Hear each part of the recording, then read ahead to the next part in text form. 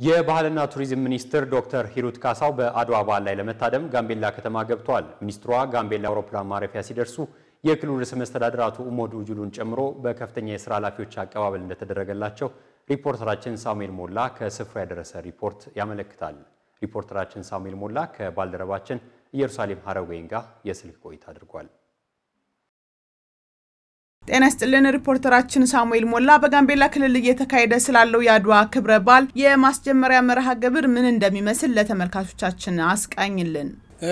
አመሰግናለሁ ኢየሩሳሌም። እንግዲህ በዚህ ዓመት 125ኛው የጥቁር ሕዝቦች የነጻነት ቀን የሆነው በነገስታቶች ዘመን አድዋ ላይ የጥቁር ሕዝቦች ደማቅ ታሪክ የተጻፈበትን 125ኛ ዓመት የድል በዓል በዚህ ዓመትም በደመቀ ሁኔታ ለማክበር በመላው ኢትዮጵያ በክልሎች ደረጃ በእያንዳንዱ ወረዳ እስከ ቀበሌ ድረስ እንዲከበር በእቅድ ደረጃ ወጥቶ እየተሰራ ነው።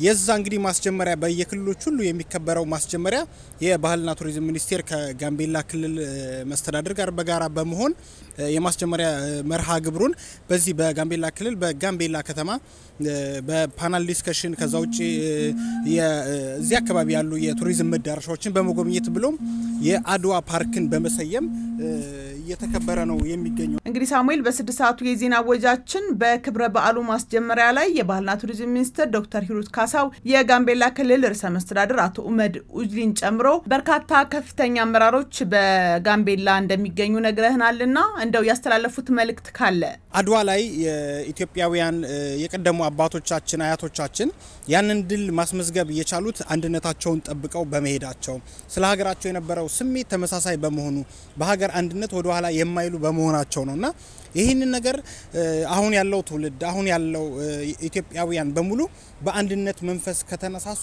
አይደለም በዛ ዘመን እንግዲህ ዘመናዊ ጦር ታጥቆ የመጣውን የጣሊያንን ጦር ማሸነፍ የተቻለበት ሁኔታ እያለ ቀርቶ በአሁኑ ዘመን አንድነታችንን ከጠበቅን ኢትዮጵያን ወደ ተሻለ ደረጃ ከፍ ማድረግ እንደሚቻል ማሻገር እንደሚቻል እና አንድነት ላይ መሰራት እንዳለበት ነው ሁሉም መልእክታቸውን ያስተላለፉት።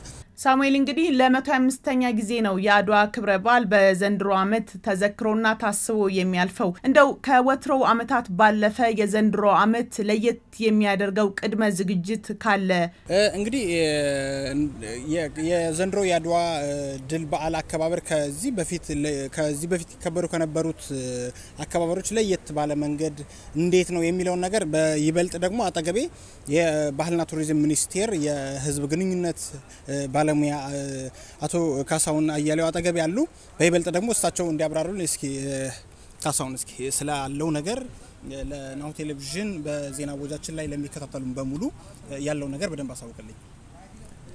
አመሰግናለሁ።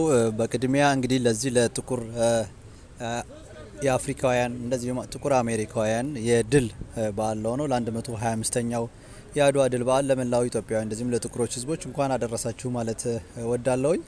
እንደሚታወቀው እንግዲህ በሀገራችን ይህ ድል በዓል በተለያዩ መንገዶች ይከበር ነበር ከዚህ በፊት። በተለይ ደግሞ ጦርነቱን ከተካሄደ በኋላ በርካታ ጊዜ ማለት ይቻላል በተበጣጠሰ መልኩ በበጎ ፈቃደኞች ያከብሩት ነበር። በመንግስትም ደረጃ በተወሰኑ አካባቢዎች ይከበር ነበር። ዘንድሮ ግን በተለየ መልኩ 125ኛውን ስናከብር ግን አሁን ያለችውን ኢትዮጵያ ነገ የምንሻትን ኢትዮጵያ እውን ሊያደርግልን በሚችል መልኩ ህብረ ብሔራዊነትን ባንጸባረቀ መልኩ እንዴት እናክብረው በሚለው በክብርት ፕሬዚዳንታችን የተቋቋመ ምክር ቤት አለ። እሱን ተንተርሶ ደግሞ እስከ ክልሎችና ከተማ አስተዳደሮች የወረደ እቅድ አለላችሁ። በዛ መልኩ ነው እንግዲህ እየተከበረ የሚገኘው ማለት ነው።